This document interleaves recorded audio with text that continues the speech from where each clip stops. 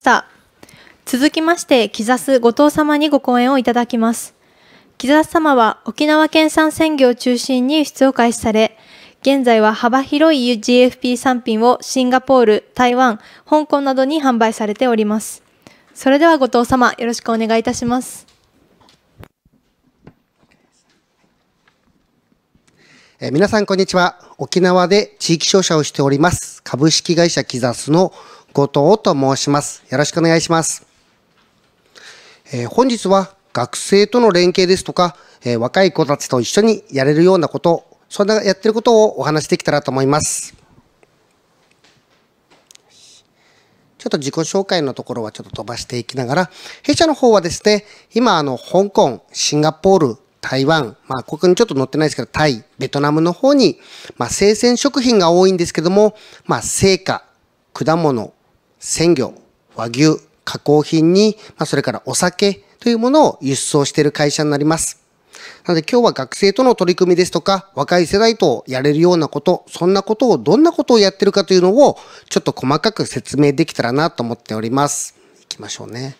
ちょっとわかりやすいのからいきますね。はい。多分一番わかりやすいのがこれかなと思っております。沖縄という地域がまあ特色があるって言ったら変なんですけども、あの、特徴があるかと思うんですけども、あの、修学旅行が全国から、まあ、すごく来ていただけるところになっております。これはまあ、すごく沖縄の特徴でもあるんですけども、もうここ5年ぐらいですね、今一緒に東京の私立の学生たちとやってるんですけれども、まあ、私立の高校の子たちとまやっています。何をやってるかと言いますと、修学旅行で来る3泊4日のうちの、まあ、1日をうちの方に預けていただきまして、子供たち、まあ、その時に、えっ、ー、と、まあ、大体10名から30名、40名とか、あ年によって変わるんですけども、その子たちと一緒に、実際にうちがやっている輸出の現場を見ていきながら、実際にそのものを触ったり、料理をしたりして、輸出の梱包や、またはえ海外の取引先のバイヤーの皆様や、まあ、レストランのシェフ、まあ、そんな方々に、まあ、話をしていきながらやる。今年度の方は、学生たちと、まあ、やっぱりこのコロナというのがあって、修学旅行も2回、3回ぐらいちょっと延期になったんですけれども、まあ、そんな中でも、リモートというところで最初に、えー、高校、えー高校の子たちのところと、まあ、ズームか何か LINE 電話みたいなものを使いながら、えー、沖縄の食文化ってこうなんだっていうところを、まあ、実際に3回ぐらい授業の方をさせていただきました。で、その後、学生たちが今回はまあ30人ほど一緒に競りの現場の方に行きまして、この魚って何？こんなのどうする？こんなのどうする？っていうものをみんなで話し合いながら、まあ競りにえー、まあ、参加はできないので、僕の方が競りやるんですけども、この魚を競り落としてみたい。この魚の方で台湾の方に日本のこう刺身というものを伝えたい。マグロってこういう食べ方を日本ではするんだってことを、まあ、ぜひ伝えていきたいっていうことを、まあ、学生たちの方から、まあ、話をもらって、じゃあ一緒にこれを競り落とそうという形で、まあ、学生と一緒に競り落としました。まあ、その前にあの、授業のところで、まあなんかこう、えー、まあ3日分ですかね、ぐらいあの、やったんですけども、なかなかこう、地域地域の食材を、やっぱりその東京では見ることができなかったり、そんなことが多いみたいで、沖縄で言ったらこう、なんとか水族館みたいなのがあるんですけども、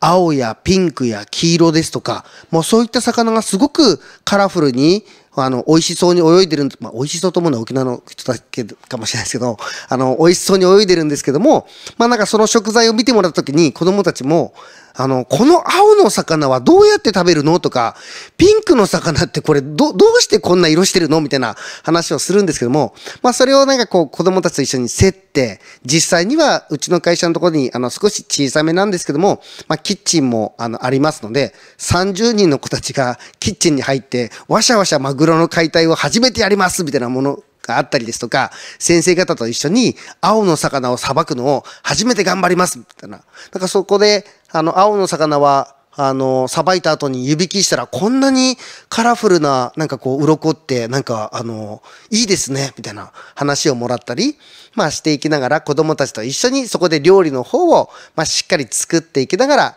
台湾の方にその後ですね、作った料理をもとに、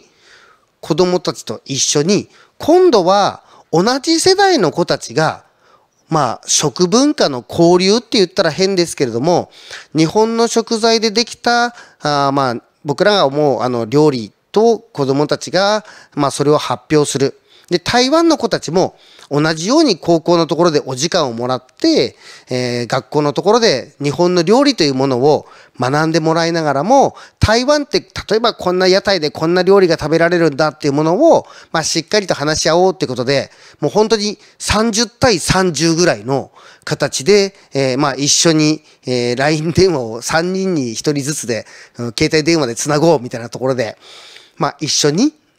やるっていうところがありまして、ここは本当に30分から40分ほど台湾の学生の高校生の女の子と男の子が、女の子がちょっと多かったですかね。と、まあ、あの、こちら側男子校だったので、男子の子たちが、まあ、自分たちの魚ですとか、料理をした刺身を紹介しますって言ってたんですけど、まあ、どう見てもぶつ切りになってるような ものが多かったんですけれども、まあ、自分たちが作った料理の方を、まあ、一生懸命台湾の子たちに、いろんなもので翻訳機能ですとか、携帯のもので翻訳していきながら、まあ、なんか話をしていきながら、僕たちの食材には日本ではこんなものがあって沖縄ではこう食べられてるみたいですでも東京では実際にはこれはあんまり食べられてないから東京ではこんな食べ方を実は普段はしてるんですみたいなもっとなんか日本全国の食材がこんな形であったらいいのになみたいなものをなんかすごくこう学生同士で話し合いをしていきながらやったりもしました。で、その時にこう画面上だったので、なかなかこう、えっ、ー、と、直接会うとか、そんなものはできない、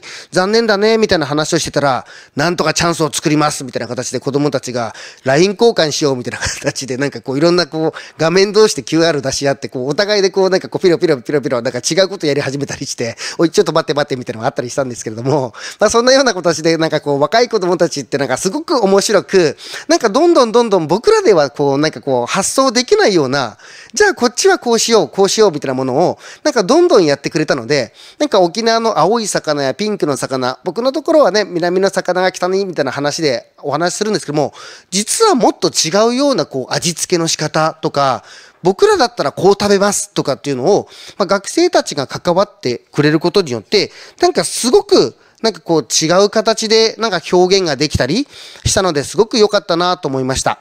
で、まあここコロナのとこで3年ぐらいはできてないんですけれども、その前なんかでいきますと、3年前はまさしく逆、あの、台湾の学生を日本のところにお呼びして、えー、もう何かのその国とか県とか市町村の授業でも全くなかったんですけども、本当に自分たちで、えー、航空券代を出して子供たち、それは中学生だったんですけども、中学生が沖縄の中学校にどうしてもこう勉強しに行きたいっていうことで、まあ、沖縄の教育委員会の方に相談してきながら給食も含めてで沖縄のそういったものをなんかしっかり味わわせてあげたいって話をしたら、え、台湾の中学生たちも2週間ちょっとですかね、あの学校の方に学ぶっていうところで来て、一緒になんかこう、まあ同世代の子たちが釜の飯じゃないですけれども、言葉ももちろんその時は通じないですし、もうなんかこう何をお互い言ってるかわからないけども、こうできるだけ Wi-Fi を探しながらこうみんなでこうえ訳しながらやっていくっていうところを、まあなんかどんどんやっていって、その時にやっぱ感じたのは、なんか同じ釜の飯を食った仲間が、今はもちろんコロナのところで行き来は制限されてますけども、そんな子たちがすごく、なんかこう、えっ、ー、と、5年ぐらいやらせてもらってるので、まあそれこそ1回で30人から300人ぐらいしかできてないんですけれども、その子たちが今台湾と沖縄、台湾、あ沖縄とシンガポールですとか、そういったところでこうやり取りをしていきながら、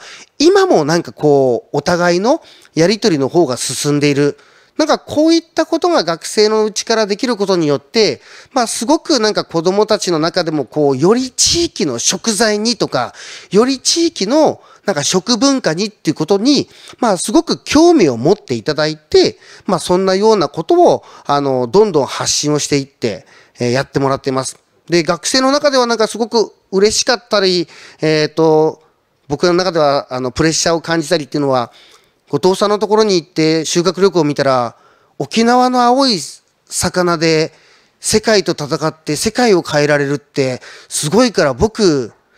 水産大学に行きますってとこで、なんか進路変更までして、なんか水産大学にこう行ってくれる子もいて、まあ今でもなんか結構あの、ね、後藤さんとこ、あの、就職大丈夫ですか？みたいな話も来るので、まあ面白おかしくやってはいるんですけども、まあ本当になんかこう、学生たちが食を使って世界に発信をしていく、食を使って自分の国の、まあ、アイデンティティといいますか、なんかこう、素晴らしいところを、なんかすごく、なんかこう、伝えていくということを、まあ、やってくれてるというのが、まあ、なんかすごくありがたいなと思ってます。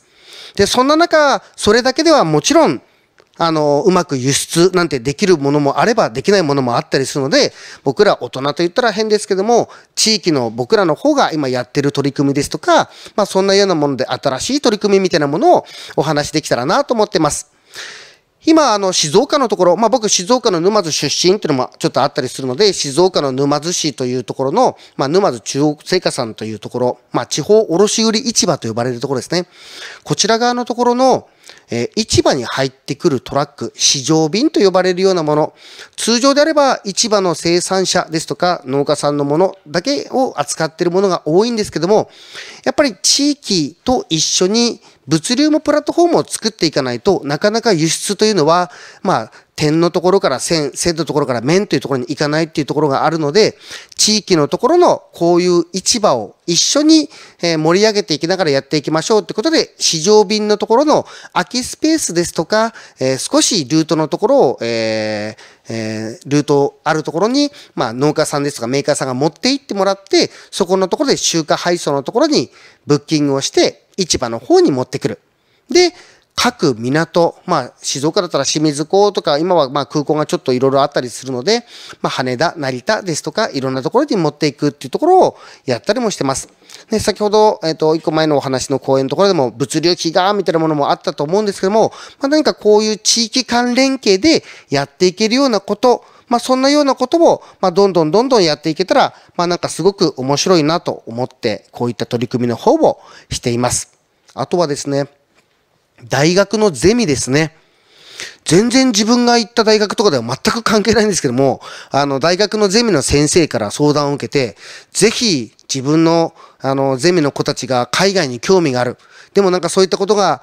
なかなか学べるところがないんだというところで、まあ、白鵬大学の、まあ、ゼミ生の方を受け入れて、うちの方と一緒に連携していきながら、まあ、まさしく実務ですね。今日は魚が足りないぞと、野菜取り行くぞみたいなものから、えっ、ー、と、英語ができますって話だったので、おし、これ商談行くぞって言ったら、えー、実は単語しかできなかったとかね、そんなものもあったりするんですけれども、なんかそういった形で学生たちと一緒に、まさしく食の現場に足を